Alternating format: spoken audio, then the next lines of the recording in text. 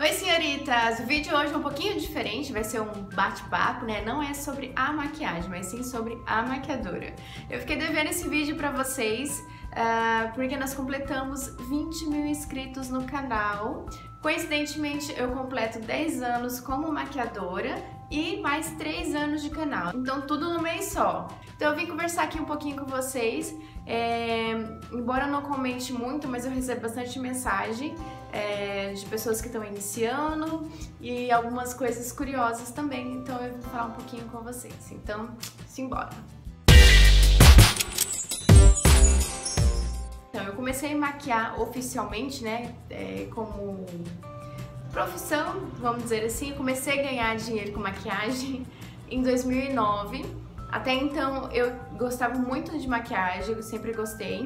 É, eu falo pra minha mãe que acho que eu já previa quando era criança, porque ela sempre me pegava dentro do guarda-roupa comendo os batons dela, aqueles de moranguinho, enfim. Eu era sempre aquela que chegava por último nas festas, porque eu maquiava a família inteira, maquiava todo mundo, e aí eu falei, gente, esse negócio tá errado, acho que tá na hora de eu começar a ganhar dinheiro com isso.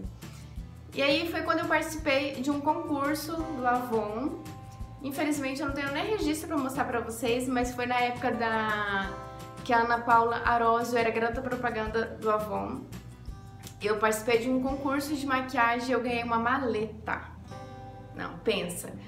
Dali eu deslanchei, falei, agora que eu vou ganhar dinheiro com isso daí mesmo. Aí eu comecei a divulgar e aí eu, é, como não tinha feito nenhuma faculdade ainda, eu me interessei muito por estética.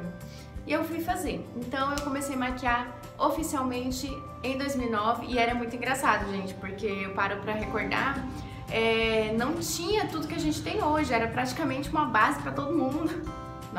Não, é tanto assim.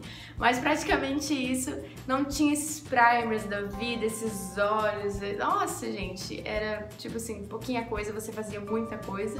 Nas gambiarra, né? Mas fazia, era aquela época da maquiagem azul, verde, rosa, pink.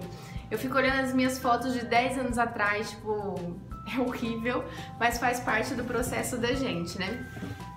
E eu entrei na faculdade, eu fiz estética e cosmetologia três anos, me formei. Durante o período da estética eu já aproveitei e fiz curso profissionalizante de maquiagem também.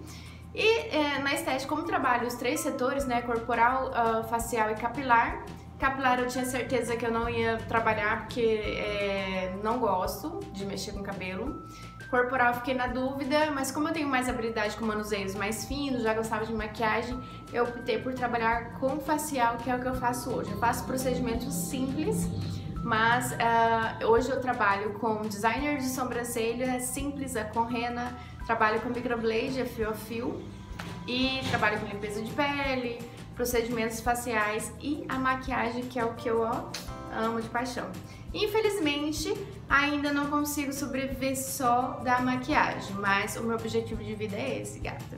Dizem mesmo. Comecei atendimento em Fátima do Sul, onde eu morava, Mato Grosso do Sul, e agora eu estou morando em Cáceres, Mato Grosso. Quando eu mudei para Cáceres, Mato Grosso, eu fui trabalhar numa estética que, infelizmente ou felizmente, que hoje eu vejo como felizmente, não deu certo e eu me vendo desesperada no sentido de precisar trabalhar, porque a gente pagava, ainda continua pagando né, aluguel, mas na época também pagava. E a gente veio pra cá na cara e na coragem, trabalhar, ganhar a vida, e eu não tinha nada. Eu lembro que a primeira maquiagem que é, a cliente marcou, eu saí a caça na cidade pra ver se eu encontrava alguma coisa, porque eu tinha muito pouca coisa. Aí você vai falar assim, mas Elaine, você tem 10 anos de, maquia... de maquiadora, tu tem 10 anos de maquiadora e praticamente não tem nada. Realmente, gente, eu praticamente não tenho nada. É, assim, na minha profissão de maquiadora, eu nunca tive ninguém para me ajudar. Nunca.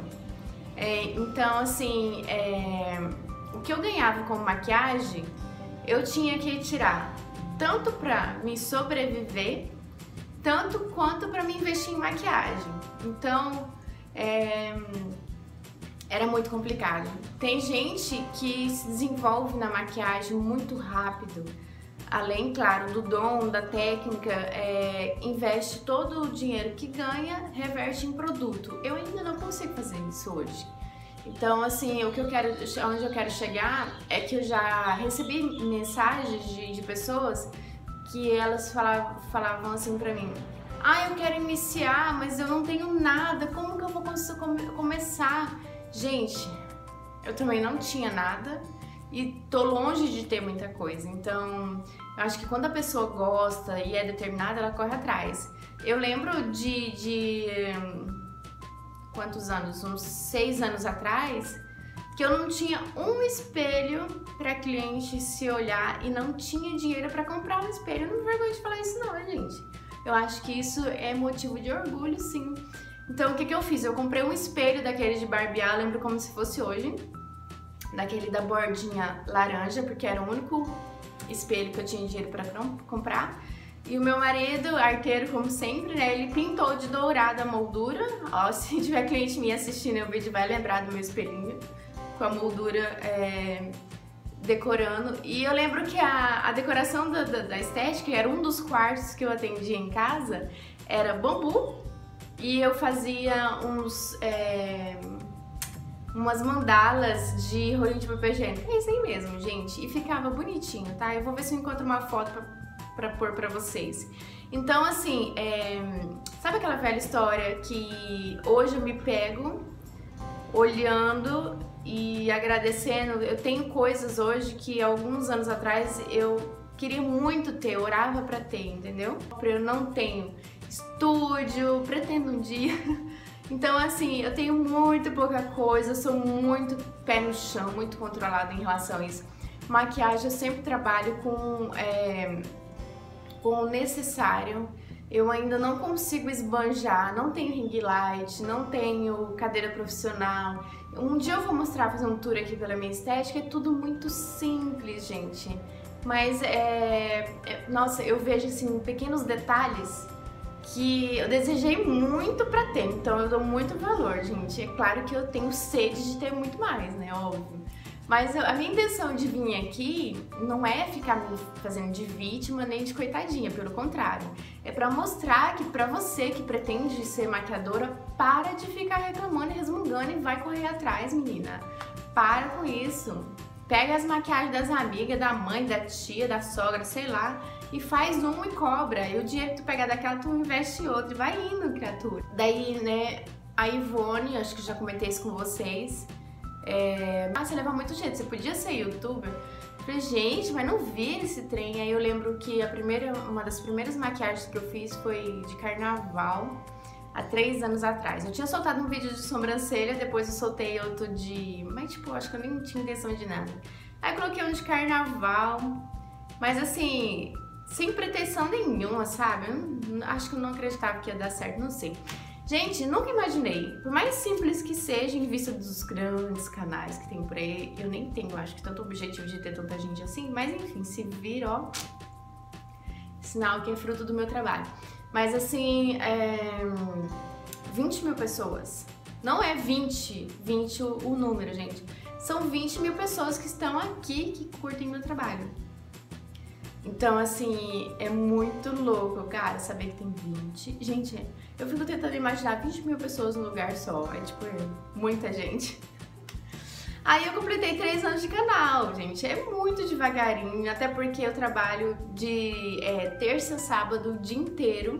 Então, assim, eu não tenho muito tempo, então eu tenho que cuidar, eu cuido de casa sozinho, tenho que dar atenção pro marido, é, eu tenho as minhas funções na igreja, então, assim, é bem... É, falta tempo, na verdade, pra mim trazer mais conteúdo aqui pro canal, mas eu tô muito feliz e quero te agradecer de coração, tu que é inscrita aqui, que é inscrito, né, as senhoritas e os cavalheiros, Quero dizer que é muito motivador as mensagens que a gente recebe, sabe? Às vezes a gente tá meio pra baixo, meio desmotivado, aí chega alguém e pimba, sabe? Alegra teu dia, manda mensagem de carinho. Ai, gente, é muito bom. Então, eu tô muito feliz, quero agradecer muito de coração você que é inscrito e você que tá assistindo esse vídeo não é inscrito ainda, vem fazer parte da nossa família junto comigo, tá bom? Já deixa um like aí pra divulgar, pra esse vídeo alcançar as futuras maquiadoras, né? Então a gente tá num processo assim de evolução muito grande, eu ainda quero crescer muito, se Deus quiser e assim me permitir. Então, eu tô muito feliz, só vim aqui para compartilhar com vocês os meus 10 anos de maquiadora, 3 anos de canal e 20 mil inscritos, ok? Então, se vocês já gostam desse estilo de vídeo mais, assim, papo de maquiadora, vamos deixar uma hashtag aqui embaixo, eu adoro papo de maquiadora, daí eu vou tentar trazer mais vídeos pra vocês. E vocês veem que eu tô, assim, praticamente sem maquiagem, né? Gente, eu trabalho desse jeito. É engraçado que às vezes as pessoas me conhecem pelas redes sociais e vão chegar aqui, elas acham que vão chegar aqui e vão me encontrar assim toda produzida igual tá lá. Eu gosto muito de me maquiar em ocasiões especiais. Eu gosto de usar a maquiagem ao meu favor, não gosto de ficar escrava dela. Então assim, eu curto tanto o natural quanto o rebocão, entendeu? Então, entendeu? Então é isso, meus amores. Eu espero muito que vocês tenham gostado desse vídeo. Eu espero que vocês curtam esse estilo de bate-papo de maquiadora. Se tiver alguém aí pensando em ser maquiadora, já deixa aqui nos comentários. Vamos trocar uma ideia, ok? Então, um grande beijo. Fiquem com Deus e até o próximo vídeo. Tchau, tchau.